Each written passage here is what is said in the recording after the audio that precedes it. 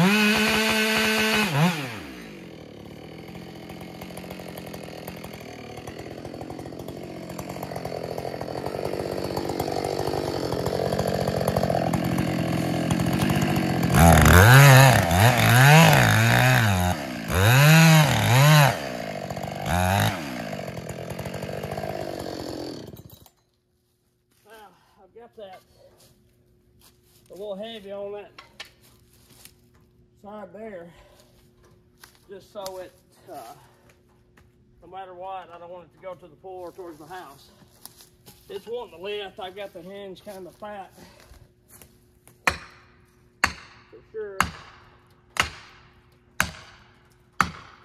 That ought to send it on, I think. Yeah, it's getting close.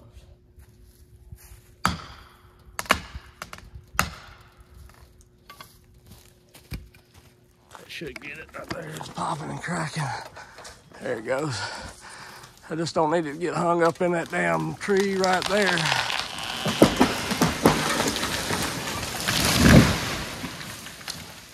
Or have anything fall down on us. Uh, but there she went. Yeah, my hands was extremely fat, but I wanted it like that for a reason. I don't want uh, did not want anything because I'm like 15 foot from the from the house and the pool here, so it just is what it is. I don't worry about pretty stunts when I'm trying to not car kill somebody's property. You know what I'm saying?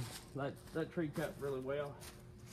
Uh, hinge was a little fat on this side, like I say, it had a little head lean over towards the pool, so that's why I left it fat. But uh, it, it didn't pull a terrible fiber. It pulled a little. I'll cut all that off anyway. Typically, that's why I step my stump, then I can cut that off, and you know, you get a lot of that face cut out of there, and uh, you get back to some good wood. So, yeah, there's one down for the day. That's pretty good. All right, I'll bring y'all back when I cut some more.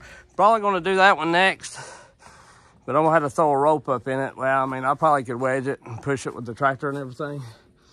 But honestly, you know, I'd, when I can, I'd rather have a line up in them for extra security. I've got to clear me a path that I can get my my truck over here.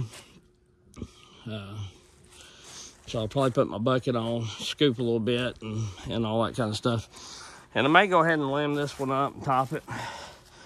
Uh, I'm running the Aaron A. Lynch 572. I got the, put decomp plugs in all of them because the Buxton saw and this Aaron saw was, uh, and the Cajun saw was, was leaking somewhat. And, you know, they're just not that terrible to pull over. They're uh, not the easiest, but they're they're not the hardest either. So anyway, all right, I'll catch y'all here in a little bit.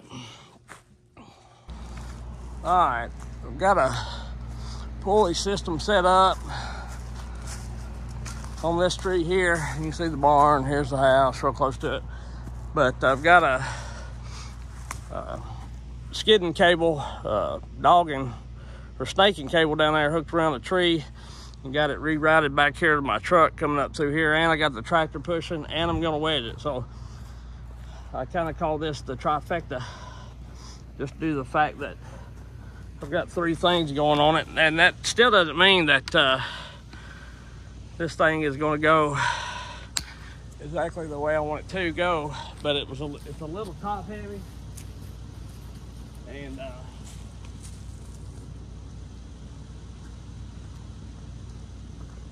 way I look at it is if I can cut a little, wedge a little, cut a little, wedge a little.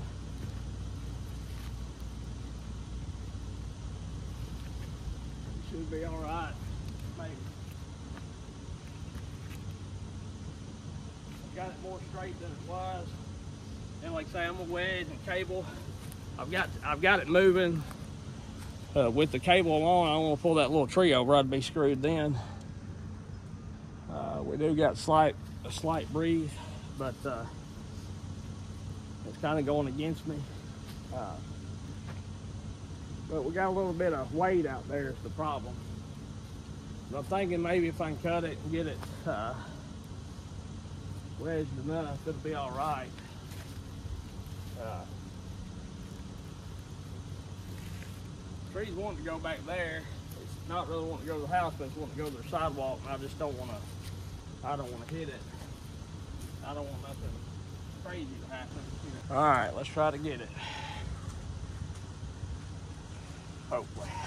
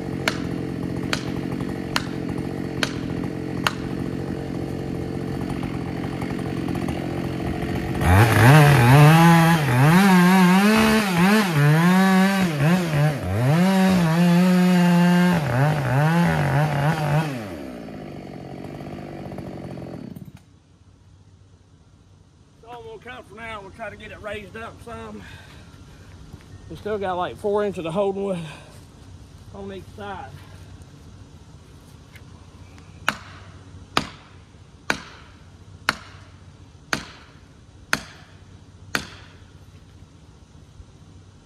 But I don't want to put too much pressure on the wedge.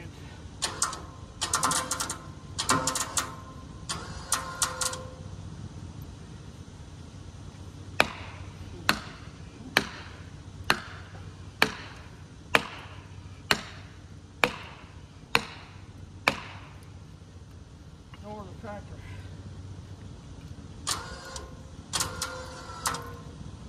That ain't moving much more.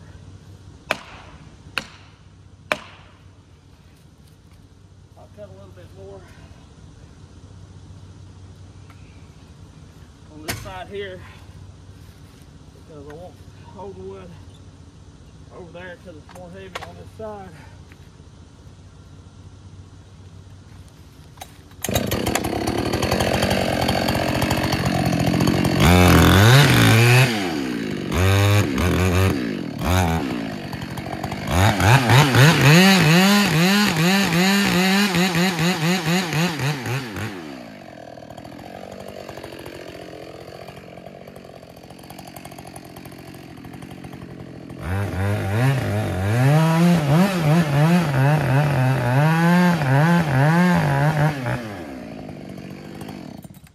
I'm cutting until I get it raised up because it's heavy.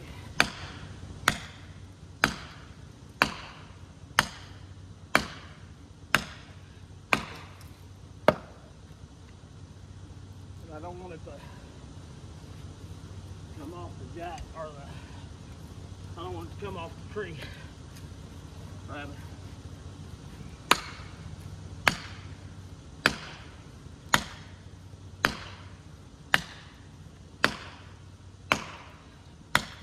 This is a heavy tree.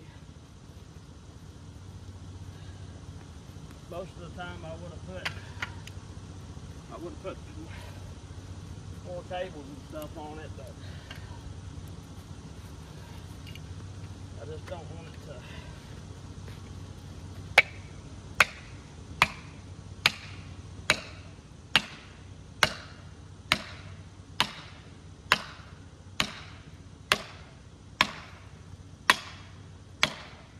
get goofy on me. I don't want it to get goofy on me. I'd like to get it lifted up enough where I can get these wedges out.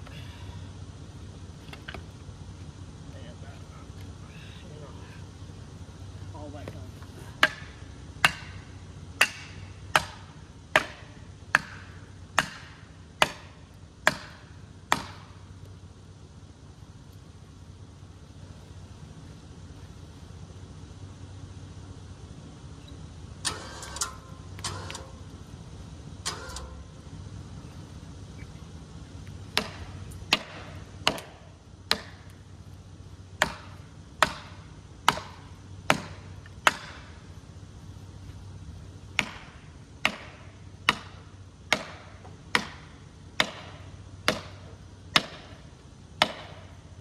I'm moving it. I hear my tractor. I hear my tractor letting off. And I've about got these wedges loose.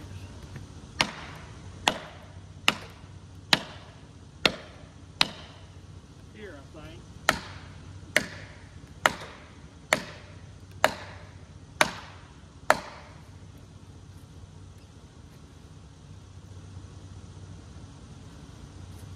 I think I about got her going the right way. A little bit more than I can.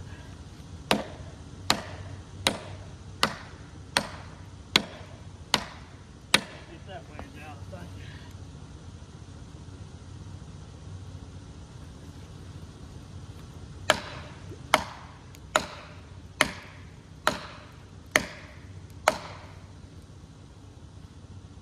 Ooh-wee.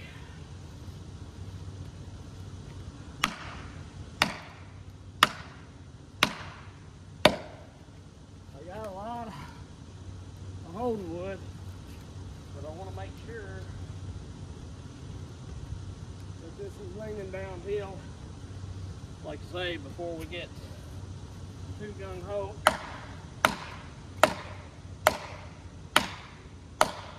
on cutting anymore.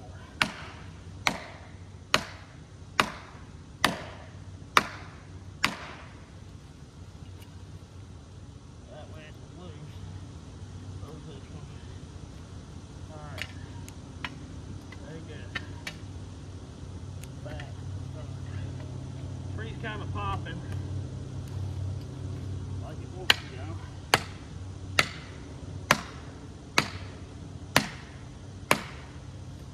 Oh, maybe y'all were can see that. I didn't put a deep face cut in, but you know, it kind of is what it is.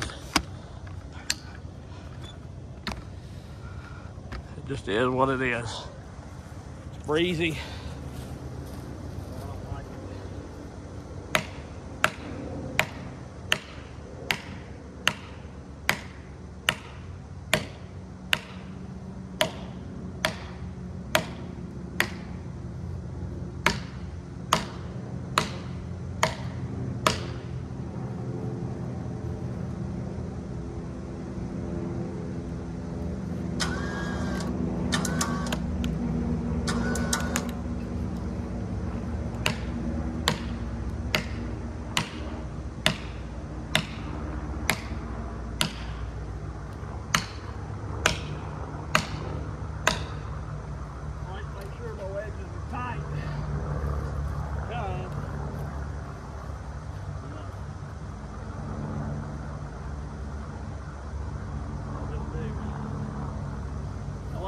Keep as I pull.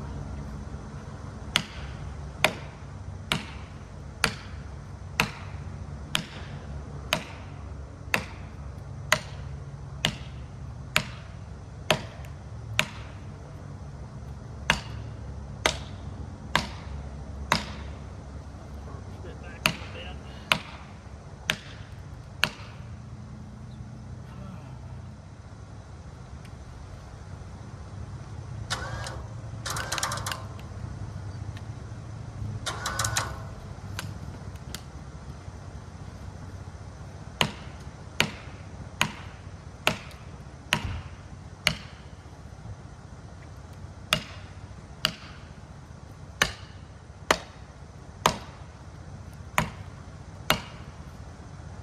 What's going on?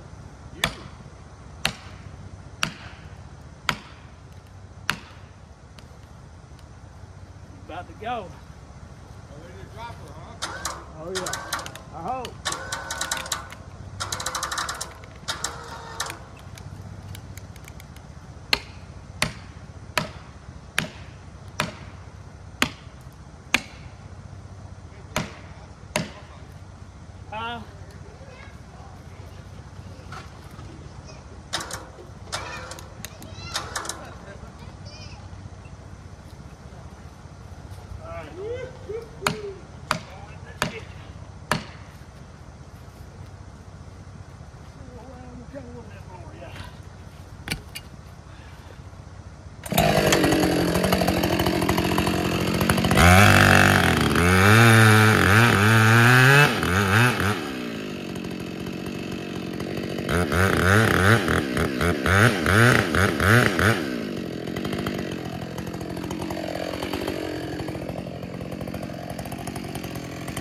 à, à. à.